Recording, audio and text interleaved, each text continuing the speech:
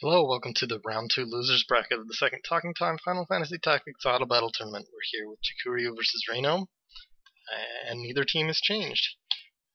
Jikkuryuu opted not to change his team um, at the end of the last round. Good thing starting with a calculated flare there, and of course, there's the second one.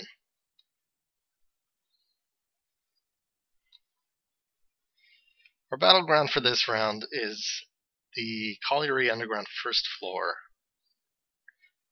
This is the sort of map that I would never do if there were any chance of an archer actually being in the mix because uh, the heights start out really uneven.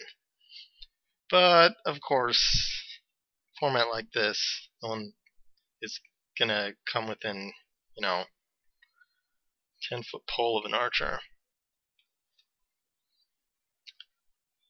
Now, let me double check here. Yeah.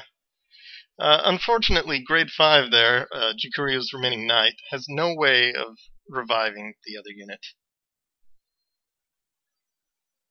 She does have that calculated holy, though, which is going to come in handy because the uh, mime, of course, doesn't resist that. And I uh, switched windows. Here we go. So that, you know, has the possibility of keeping her alive.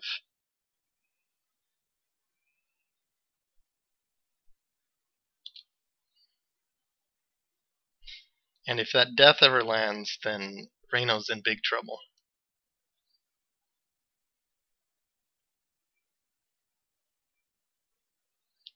On the other hand, those flares could be trouble too.